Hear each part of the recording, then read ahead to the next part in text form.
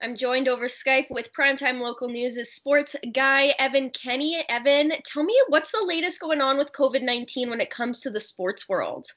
Well, Abby, things are not getting better. A couple weeks ago, we saw the NHL and the NBA cancel their seasons. And the most recently, we've seen Wimbledon, the oldest tennis major, postpone for the first time since World War II. So, you know, when one of the oldest majors for any sport, but the oldest major for tennis uh, is being postponed, things are not good.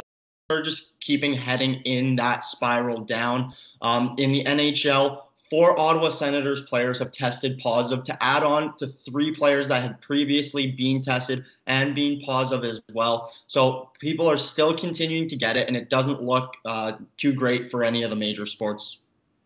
Now uh, you're saying we have been going on this downward downward spiral. Uh, has has the leagues been talking about getting back into action or what their plans are for the next couple of months, um, especially for playoffs uh, for the certain sports that are um, needing to go into playoffs shortly?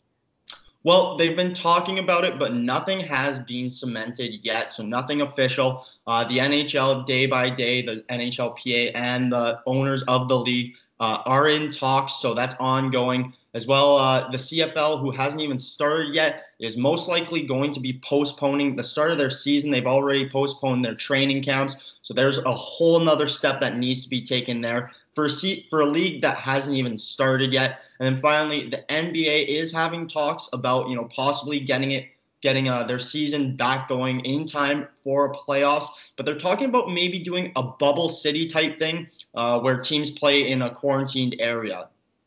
Now, with all of these sports on standstill, all the seasons, there's no games, which means that there's no revenue coming in. These major sports leagues, the NHL, the NBA, the MLB, they bring in millions of dollars in just a couple of days, pretty much, in just a couple of games.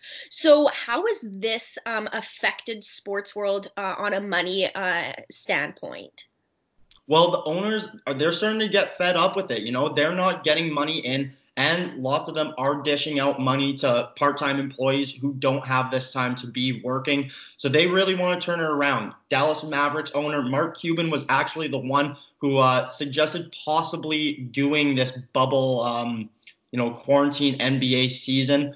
So, you know, he's one that's looking to turn it around. But as well, you mentioned it, the TV deals. That's where most of these leagues bring in their income. And it's not just the four leagues uh, that we're seeing affected by this. It's the Olympics as well. That's one of the most televised events uh, that's being postponed until next year, as well. Different ones throughout the MLB. There was uh, the Chicago Cubs were going to play the St. Louis Cardinals in London. That's been taken away. So teams and leagues are really starting to feel this.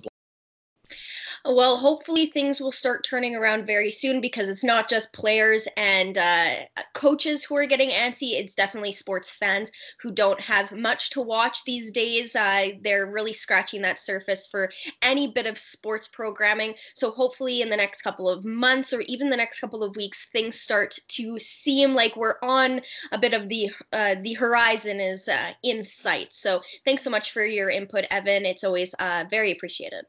Thanks, Abby.